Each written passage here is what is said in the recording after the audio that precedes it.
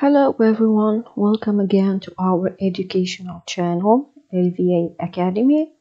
Here you can find videos on different subjects including mathematics, science, physics, French, Arabic and of course English.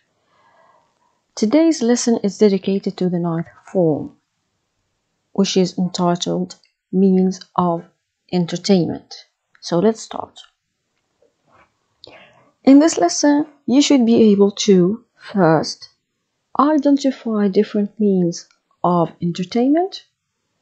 Second, interpret pictures.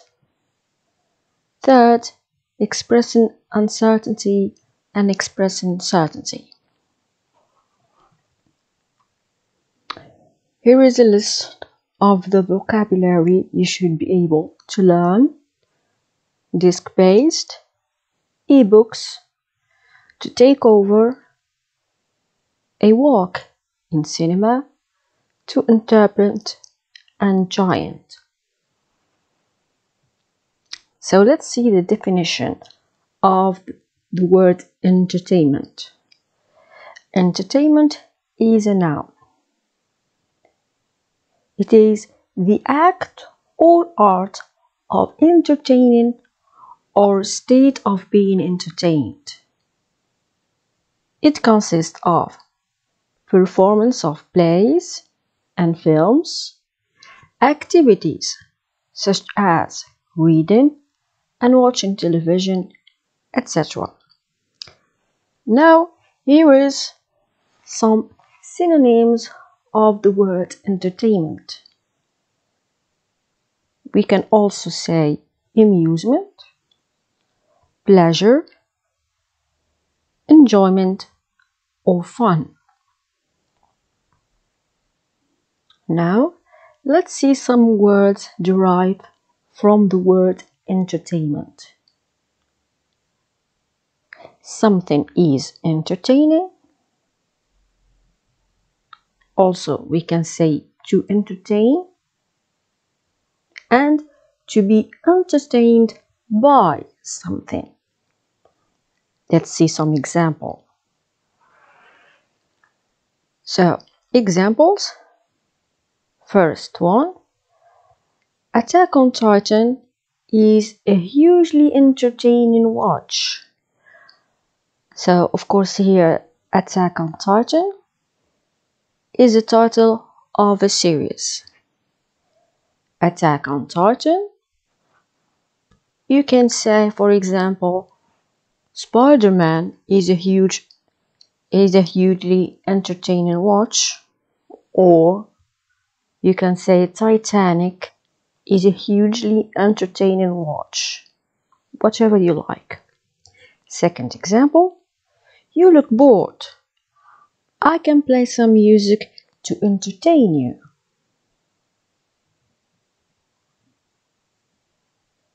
Another example, the kids were entertained by the clown. So, in this last example, it is the passive form. The kids were entertained by the clown.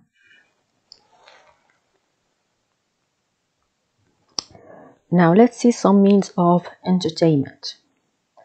Things, activities that you can do on your pastime or during the weekends and make you amused or entertained.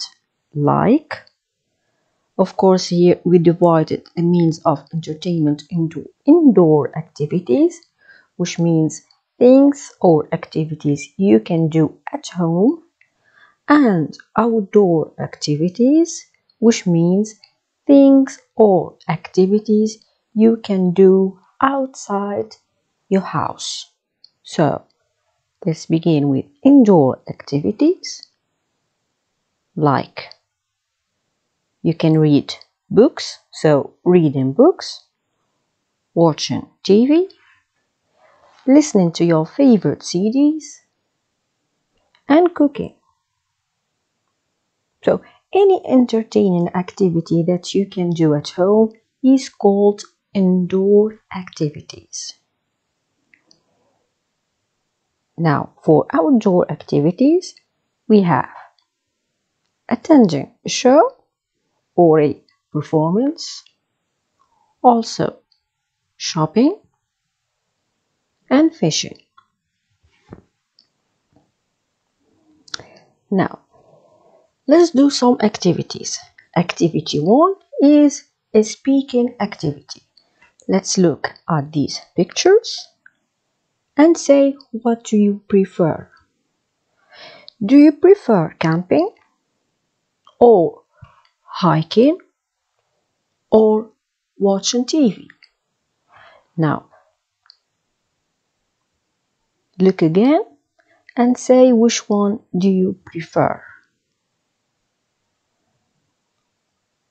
Now, if you are an indoor person, you like enjoying the stay at home, you can just say, I am an indoor person. I enjoy watching TV at home.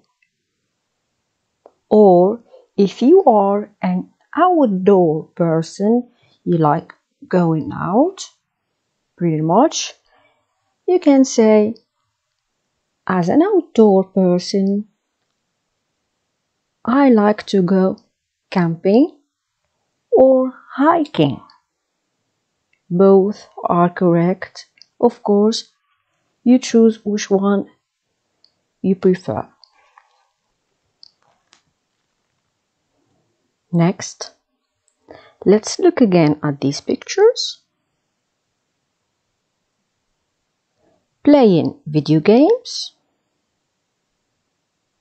Next, window shopping. Listening, sorry, listening to music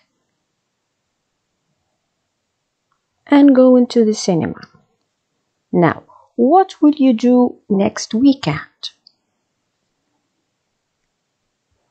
So, this is activity number two you aren't sure what to do next weekend, use maybe, perhaps, and no doubt to make three sentences about the pictures in activity number one. So, let's see again. Playing video games, window shopping, listening to music, or going to the cinema. Which one will you do this weekend or next weekend? Using, of course, maybe for uncertainty or no doubt for certainty. Here we have three examples, starting with perhaps, Perhaps I will go to the cinema next weekend. Sentence number two. Maybe my friend Linda and I will go window shopping this weekend. Sentence number three. No doubt I'm going to stay at home this weekend and enjoy some music. So here we have three sentences. We use perhaps, maybe for uncertainty, and no doubt for certainty. Let's move on. Now, expressing certainty and uncertainty. What do we use to express certainty? We use I'm sure plus that clause or no doubt plus declarative sentence. For uncertainty, we use maybe or perhaps. Let's see some examples. Maybe I can go hiking next Friday. I'm sure that staying at home and watching TV all day isn't fun. Perhaps we can go camping on the weekend. Sorry, perhaps we can't go camping on the weekend, but we will certainly do it by the end of this month. Again, to express certainty, we used I'm sure or no doubt. And for uncertainty, we used perhaps and maybe. Now, let's do activity 3, page number 130. Check your activity book. Take some time to do it. You can of course pause this video, do the exercise, then come back later to listen to the answers.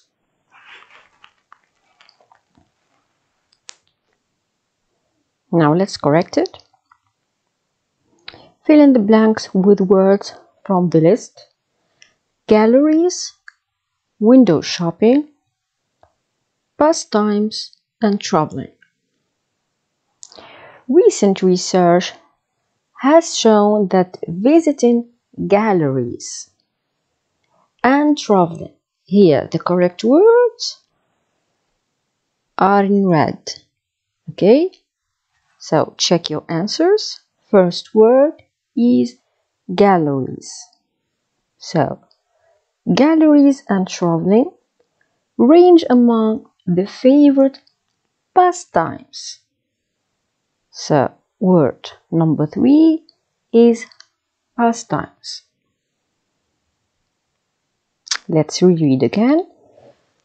Recent research has shown that visiting galleries and traveling range among the favorite pastimes for people in big cities such as London, Paris, and New York. However, there are many people who still engage in activities like window shopping and sport games. Check your answers again. First word is galleries. Second word, traveling. Third word, pastimes. And last word, window shopping. So this is the end of our lesson guys. If you liked this video, don't forget to like and share it with your friends. And please subscribe to this channel for more videos. Of course, you can visit us at our platform at www.lvaacademy.com. And see you next time.